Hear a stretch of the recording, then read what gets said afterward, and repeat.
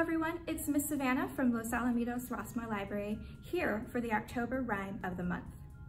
Because it's spooky season, and you all know I love spooky if you've seen my videos before, I thought it would be fun to do a pumpkin bounce movement activity where we pretend our little ones are different sized pumpkins bouncing down a vine. Movement activities are really important for little ones because it helps them learn phonological awareness skills.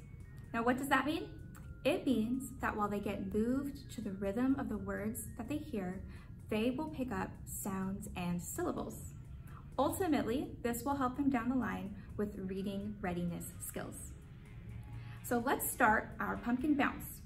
Of course, you're gonna have your child, just like I have my little Grogu child here, on your lap, and you're going to do small bounces to start. So let's go. Here's a little pumpkin bouncing down the vine.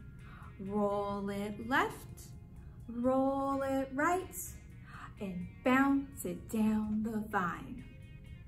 So those are pretty much the words that you will use for this entire activity.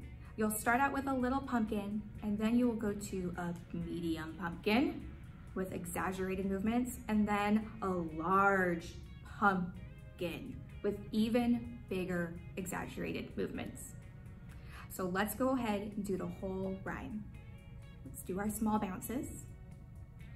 Here's a little pumpkin bouncing down the vine. Roll it left, roll it right, and bounce it down the vine. Here's a medium pumpkin bouncing down the vine. Roll it left, roll it right, and bounce it down the vine. Here's a great big pumpkin bouncing down the vine.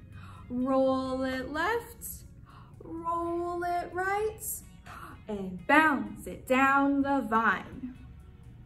And that is the pumpkin bounce movement activity. As you can see, all we changed is the pumpkin size from little to medium to large with more exaggerated movements. And if you're really in a fun mood, you can be a really loud, boisterous voice, especially when you get to the loud one, so that the kids really pick up on the movements that we will be doing. Especially with the swaying in and out, that will be a fun movement they won't see coming.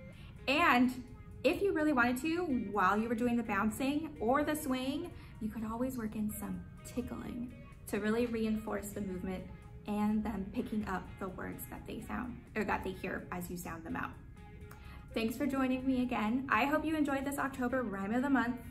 Have fun turning your children into different sized pumpkins and stay spooky this October season.